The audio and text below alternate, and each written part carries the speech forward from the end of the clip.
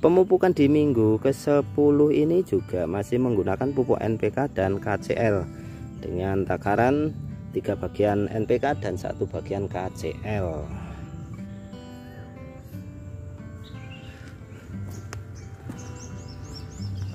Assalamualaikum warahmatullahi wabarakatuh. Halo teman-teman jumpa lagi dengan kami di channel ini Semoga kabar teman-teman dan kita semua hari ini selalu dalam lindungan Allah diberi kesehatan, keselamatan, rezeki yang barokah dan melimpah dan dipermudah segala urusan dan kegiatannya.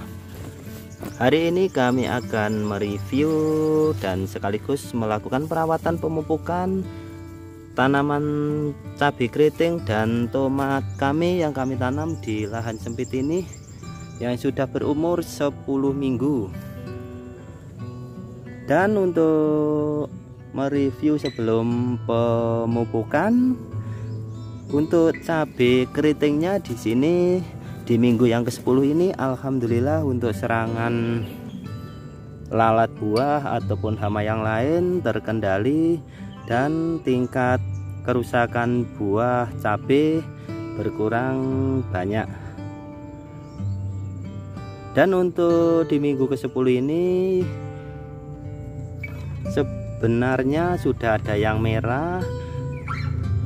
Tetapi karena yang di minggu ke-8 kemarin banyak serangan alat buah buah yang pertama kedua banyak yang rusak yang busuk.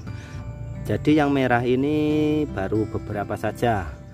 Terutama yang merah itu berasal dari buah yang pertama dan kedua ini ada beberapa. Untuk perawatan penyemprotan pestisida kami lakukan dalam seminggu kemarin dua kali untuk mengendalikan lalat buah dan juga kami taruh perangkap untuk lalat buahnya. Kalau untuk penyemprotan fungisida cuma kami lakukan satu kali dalam seminggu dan sekarang mari kita lihat untuk tanaman tomatnya. Untuk tanaman tomatnya kondisinya masih tetap subur dan buahnya juga sudah mulai besar-besar. Seperti ini untuk untuk serangan hama ataupun penyakit masih belum nampak yang signifikan. Tapi ada beberapa yang di hinggapi lalat buah dan ada yang membusuk tadi sekitar dua atau tiga buah kami buang. Yang di dalamnya ada seperti larva dari lalat buah. Untuk tomatnya juga sangat tinggi sekali.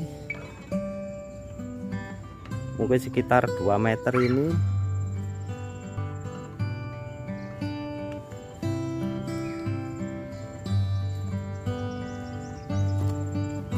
dan yang di tengah yang kami susul dengan sisa benih tomat dan terong juga terlihat mulai berbunga dan berbuah.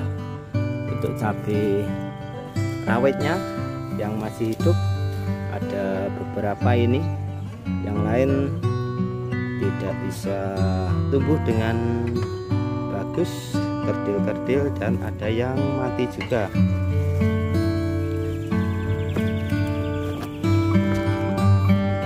Pemupukan di minggu ke-10 ini juga masih menggunakan pupuk NPK dan KCL dengan takaran tiga bagian NPK dan satu bagian KCL. Tetap sama dikocor ke setiap lubang tanam sekitar 150 sampai 200 ml per lubang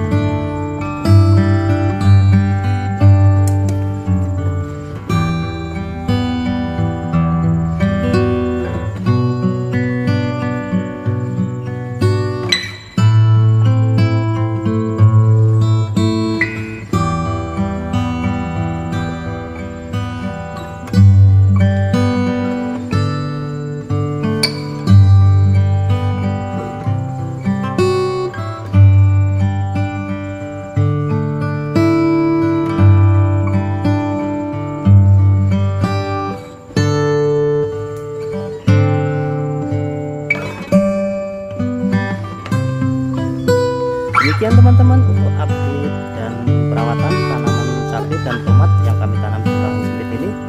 Yang sudah berumur 10 minggu. Terima kasih. Assalamualaikum warahmatullahi wabarakatuh. Salam hijau ayo menanam